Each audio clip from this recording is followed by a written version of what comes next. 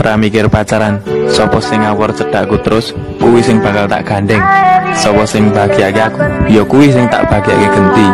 Tiwas nompo wong siji, tak rewangi nolak wong welasan, endinge mong larani ati.